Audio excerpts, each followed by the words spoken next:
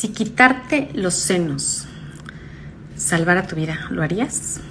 No te vayas, haz este autoexamen conmigo, ¿ok?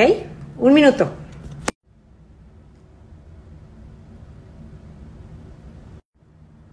Bien, vamos a tocar la pantalla para empezar a hacernos una autoexploración mamaria.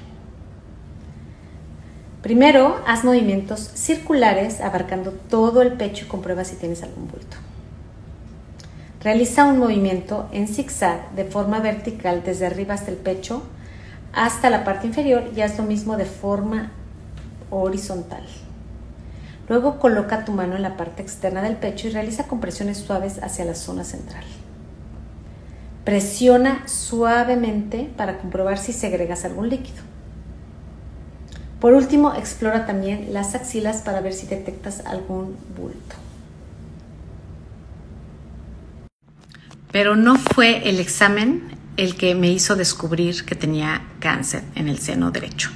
Fue la mamografía. Así es que, además de explorarte, haz tu mamografía una vez al año por lo menos y sigue las instrucciones del doctor.